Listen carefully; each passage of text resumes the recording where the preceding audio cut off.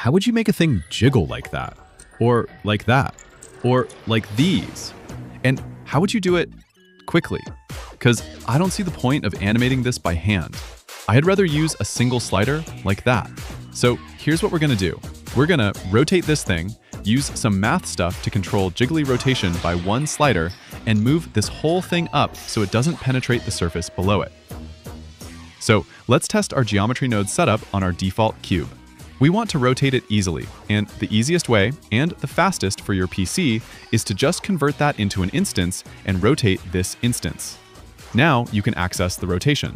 Let's take a look at the jiggly behavior essence. It's kinda crucial because when you know what creates the effect you want, you can actually start creating it rather than just connecting different stuff and praying. So object rotates on this axis. And does this thing also on one of the remaining axes? It bounces from left to right, from right to left a few times, and it gradually decreases until it stops. Okay, so we have a plan. We know what we need to do. Let's separate the x, y, z because we need to control them separately. Let's start with the simpler thing, the z. We can just use a mix node, change the a value, and by just dragging this slider, we have our rotation. Let's plug this factor into the group input so we can control it outside of the node tree. We can ease it also, I mean make the rotation smoother. We can use a float curve and adjust its shape. If that looks confusing to you, let me explain. This is a super simple chart, which remaps the incoming values. Previously, we had a linear chart, so 0.5 on the x-axis would also be 0.5 on the y-axis, but we changed that. Now, 0.5 on the x is no longer 0.5, it's 0.85 we change the behavior how that value rises. It rises quickly at the beginning, but it smooths out in the end. Okay, now it's time for the jiggly bounces on the sides. Let's disconnect the Z for now, so we make our lives easier. We will use the same factor from the group input as we want to keep it simple. We wanted bounces, so we will use a math operation that bounces, a ping pong. It basically wraps the values from 0 to whatever you have in the second socket. If we move our factor, we see that nothing has changed. That's because the ping pong operation from 0 to 1 won't ping pong a value that doesn't go above 1. So we need to multiply the factor by something. If you put even integers, like 4, the cube will do 4 movements. Forward, back, forward, back. But yeah, we want it to go left to right, like full ping pong. We need to remap the 0 to 1 to minus 1 to 1. So use map range, change the to minimum to minus 1, and change the interpolation type to smoother step. As name suggests, it will make it smoother. Now, by just multiplying this, we can control the strength of the effect. And we also want the jiggling to gradually decrease, so multiply it again by our factor, but inverted, so it goes from 1 to 0. We almost have it, now let's move this whole mesh up. I'll use the same approach as I did in this tutorial, but wait. If you like this tutorial, please go down and hit subscribe and like, because it makes me feel good.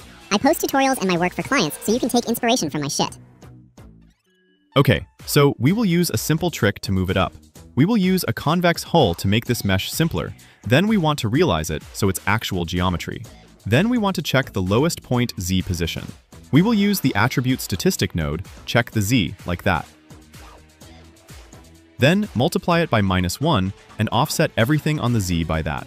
Now, let's connect back the z rotation and plug some stuff into the group input.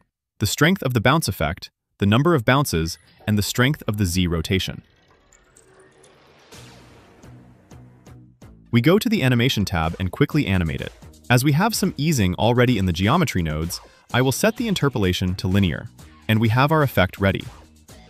You can use this on any mesh, and it will work, which is kinda cool, but sometimes you have more complex things to jiggle, and that's not a single mesh. So we need to find a way around this.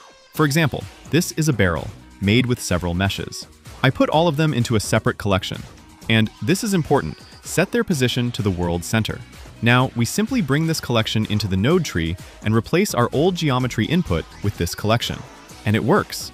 If you're getting lost, you just need to take your time with geometry nodes. It requires practice, as with every other skill.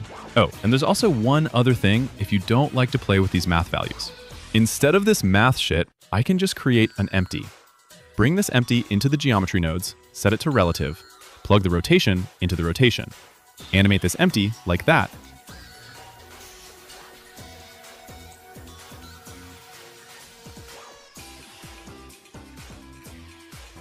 And it looks like that.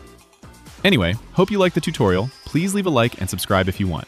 By the way, thank you for 12,620 subscribers. Thank you. Oh, one last thing, I promise. I recently created an app. This is my fifth attempt, to be honest. It lets you track your time spent on projects, and if you're making money on Blender, it's kind of cool as it shows you your real hourly rate per project and overall, with goals and other stuff. I am just obsessed with optimizing.